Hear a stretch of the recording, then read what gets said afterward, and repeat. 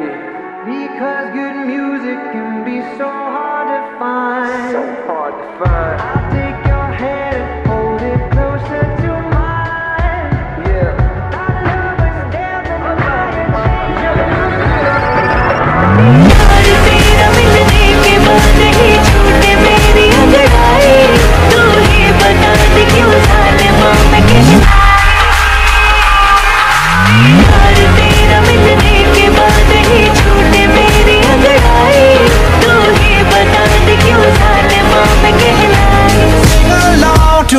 stereo.